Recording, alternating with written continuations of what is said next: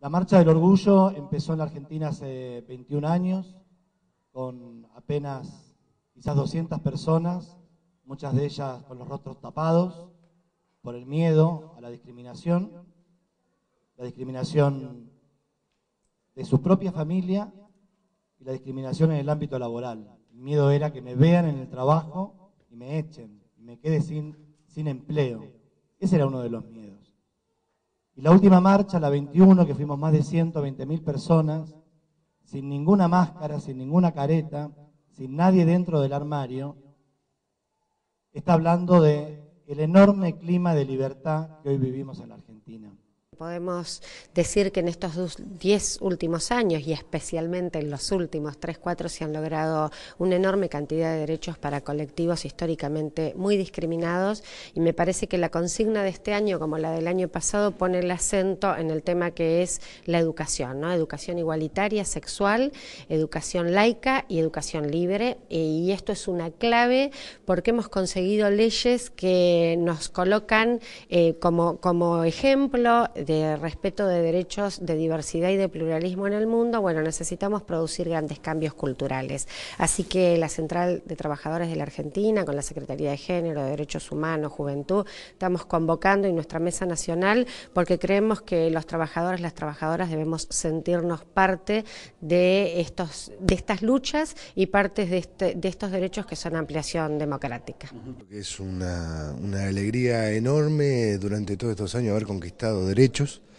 eh, haber logrado tener la posibilidad de un gobierno nacional que acompañe a las minorías y que las ponga en el lugar de mayorías este, con las mismas posibilidades que las mayorías. Y para la Secretaría de Derechos Humanos de la Central eso es fundamental, por eso hemos acompañado cada paso que se ha tomado. Este, y entendemos ahora que hay que seguir avanzando principalmente en los derechos laborales de, todos los compañeros gays, lesbianas, transexuales, homosexuales, en el sentido de que muchos de ellos y muchas de ellas este, sufren graves problemas de discriminación laboral empieza a haber un cambio profundo en los medios de comunicación, un respeto hacia la diversidad, un, respeto hacia las personas que optan por otra identidad sexual.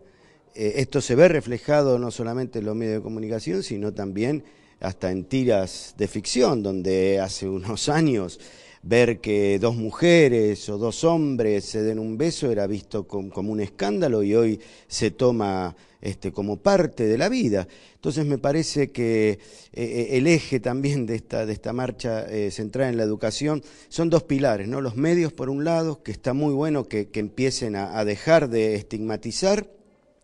a afrontar estos nuevos cambios culturales y sociales a partir de leyes que se han producido en estos 10 años del 2003 a esta parte, con recuperación de derechos, de conquistas, y además la educación. Eh, desde la educación tenemos que también romper esos prejuicios, esos tabúes, y por eso está muy bueno esto de educación sexual libre, laica, igualitaria. ¿no? Eh, me parece que son avances impresionantes y estas marchas eh, marcan un hito.